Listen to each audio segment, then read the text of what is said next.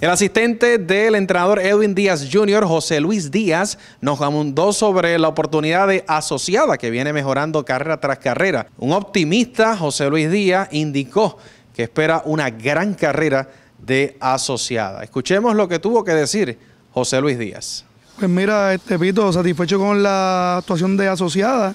Este, sí, cuando ella hizo su avance en los últimos 500 metros, nosotros pensábamos que ella iba a tener para responder hasta el final.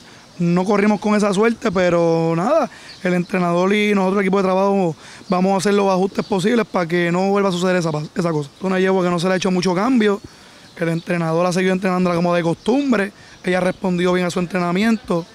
Eh, para esta ocasión cuenta con dos trabajos espectaculares con el jinete Eric Ramírez, que la va a estar montando por primera vez y nada, este, haciendo ajustes con el mismo jinete para estar todo en la misma línea. Nos ha respondido bien, es una yegua bien valiente, no las ha tenido todas con ella, pero es una yegua que cuando va a la pista ya siempre da su mejor esfuerzo.